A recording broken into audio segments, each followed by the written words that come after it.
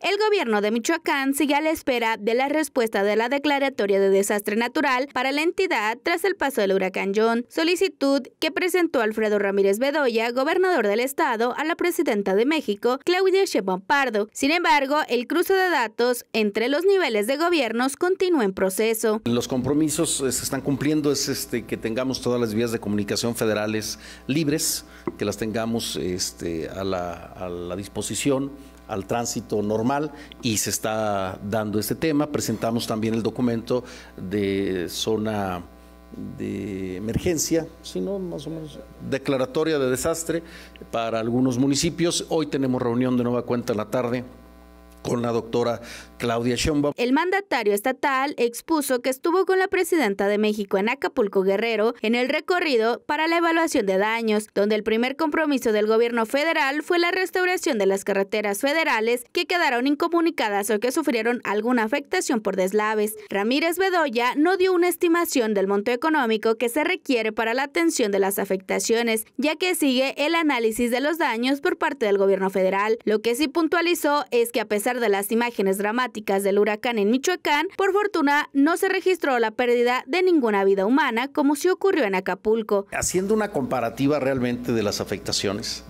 si comparamos Guerrero con Michoacán, pues realmente nuestras afectaciones, allá hubo 15 fallecimientos, 15 muertos. Aquí no tuvimos ningún fallecimiento.